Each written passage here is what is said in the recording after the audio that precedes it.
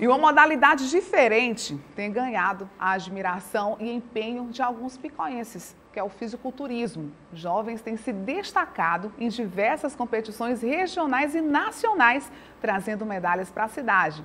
Vamos acompanhar na reportagem de Janaína Costa. As poses fazem parte do esporte. Na hora da competição, servem para o júri decidir quem tem mais definição e menos gordura.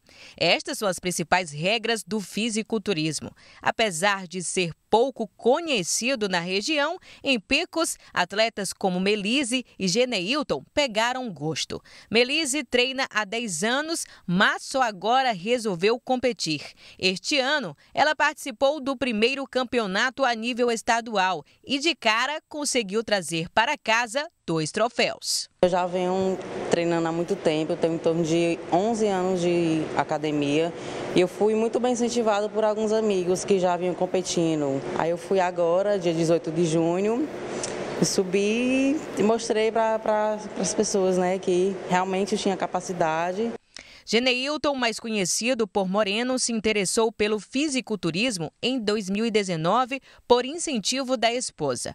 A primeira competição foi em 2020. Assim como Melise, ele teve bons resultados e hoje vem colecionando títulos. 2020 eu pude estrear na categoria bodybuilder sênior até 70 quilos. Eu consegui tirar em terceiro lugar e no mesmo dia eu participei do campeonato estadual. Eu consegui ganhar meu primeiro título, que foi campeão da bodybuilding de 70 quilos.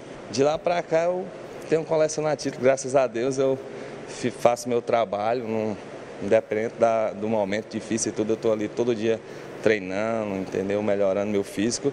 Treinos e dietas restritivas. O corpo é a principal ferramenta dos atletas. O fisiculturismo exige muita dedicação e, é claro, muita força.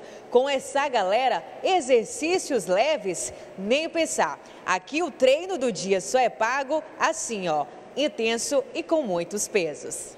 Picoenses que estão no esporte por amor e contam com a ajuda de parceiros e amigos para competir.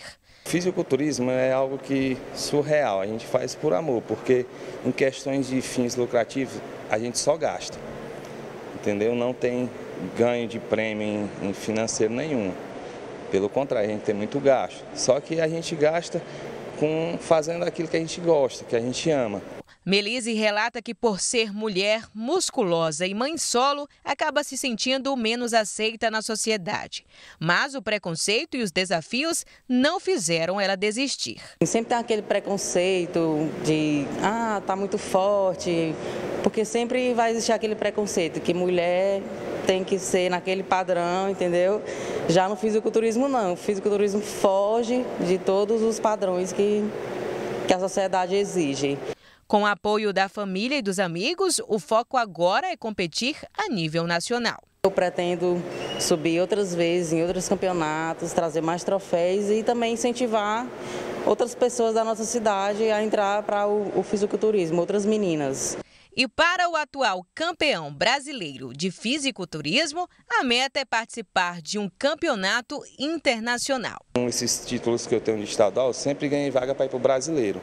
Aí nesse ano de 2022 eu disse, agora eu estou preparado para ir para um brasileiro. Aí eu fui, consegui, fui campeão e agora eu e minha equipe a gente já está traçando já o próximo campeonato que vai ser em julho de 2023, o Mister Universo.